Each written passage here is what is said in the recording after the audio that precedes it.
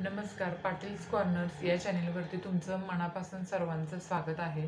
मैत्रिणींनो जेव्हा कधी तुमच्या आयुष्यामध्ये एखादं संकट येईल किंवा तुमच्या घरावर तुमच्या कुटुंबावर किंवा कुटुंबातील एखाद्या व्यक्तीवर संकट येईल तर अशा वेळी आपण स्वामींची कोणती सेवा करायची आहे हे आज आपण या व्हिडिओमध्ये पाहणार आहोत. तर स्वामींनी आपल्याला नेहमीच सांगितलं आहे की भिवू नकोस मी तुझ्या पाठीशी आहे. हा स्वामींचा संदेश तुम्ही नेहमी दररोज तुम्ही लक्षात ठेवा की भिवू नकोस मी तुझ्या पाठीशी सदैव आहे आणि असाच राहणार आहे. तर याच्यासाठी बघा आपल्यावर कोणतं संकट आलं तर आपण खचून न जाता त्या संकटाला कसं सामोरं जायचं आहे आणि त्या संकटाला सामोरं जाण्यासाठी स्वामींचे पाठबळ आपल्याला नेहमी असतं बघा आपण नेहमी लक्षात ठेवायला हवं. आणि याच्यासाठी आपण स्वामींची एक सेवा करायची आहे. तर ती सेवा कोणती करायची आहे हे आज आपण या व्हिडिओमध्ये पाहणार आहोत. व्हिडिओ आवडला तर चॅनलला लाईक करायला आणि सबस्क्राईब करायला विसरू नका. तर कोणती सेवा करायची आहे हे पाहायचं आहे बघा आज आपण. तर ही सेवा करत असताना शक्यतो ही सेवा तुम्ही गुरुवारी करा कारण गुरुवार हा वार स्वामींचा प्रिय असा वार आहे. त्यामुळे तुम्ही गुरुवारी ही सेवा शक्य असेल तुम्हाला तर गुरुवारी सेवा ही करू शकता तुम्ही. तर गुरुवारी काय करायचं आहे बघा.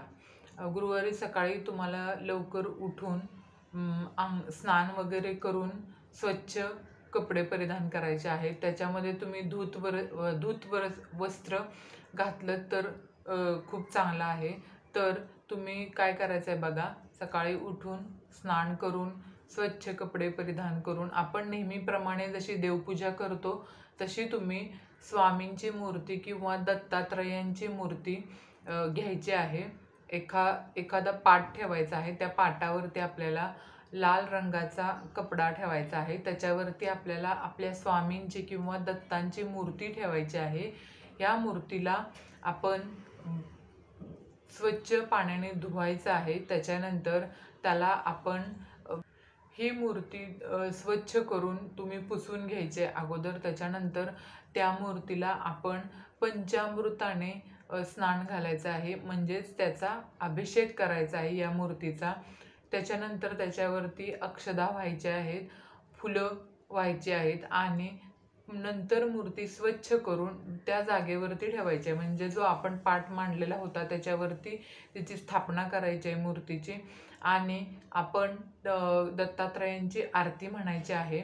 तसेच आपला नेहमीचा जो देवपूजा आपण करत असतो तशीच देवपूजा तुम्ही करून घ्यायची आहे. आणि गुरुचरित्रामधील जे आप तुम्ही पारायण करत असाल गुरुचरित्राचे तर त्याचं वाचन देखील आपण करून घ्यायचं आहे. ही ओवी कशी आहे ते पहा. ते मी तुम्हाला आता इथे सांगते. ओवी कशी बोलायची आहे ते. उद्धार या भक्तजना अवतरलासे नारायणा वासना जशी भक्तजना संतुष्ट आवे तेने परी. ऐसी तुझी ब्रिद ख्याती वेद पुराणी वाखानती भक्तवत्सल्या श्री गुरुमूर्ती ही विनंती माझी पुरवावी. अशा प्रकारे बावन्न वेळा ही ओवी तुम्ही श्रद्धेने म्हणायची आहे.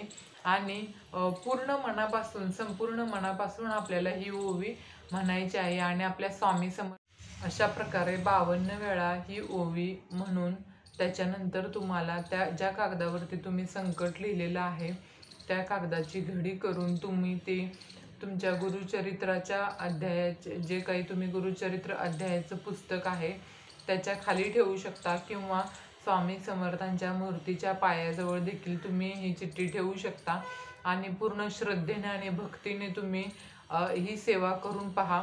तुम्हाला लगेचच फरक जाणवेल आणि दत्तगुरू तुमचे नक्कीच इच्छा पूर्ण करतील. तुम्हाला त्या संकटातून मार्ग दाखवतील.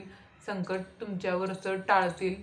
तर तुम्ही श्रद्धेने आणि भक्तीने स्वामींची पूजा करा आणि सेवा करा. म्हणून तुम्ही स्वामी सेवा करा आणि स्वामी सेवेकरी व्हा.